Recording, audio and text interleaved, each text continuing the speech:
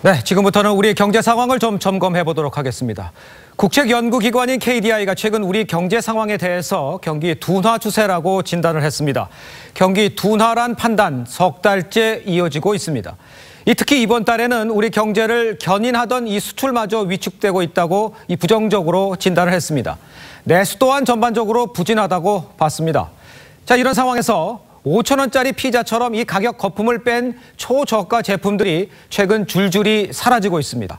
최저임금 인상으로 늘어난 인건비를 가격을 올려서 충당하려는 건데 이 부담은 고스란히 소비자의 몫으로 돌아오고 있습니다. 김지아 기자입니다.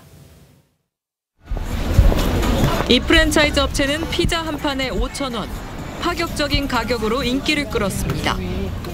하지만 1월 1일부로 가격을 천 원씩 올리기로 했습니다.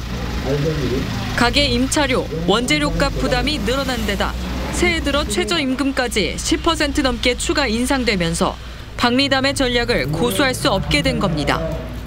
가격이 비쌀수록 많이 팔아야 되고 많이 팔수록 바쁠 때는 그 많이 잘 나오죠.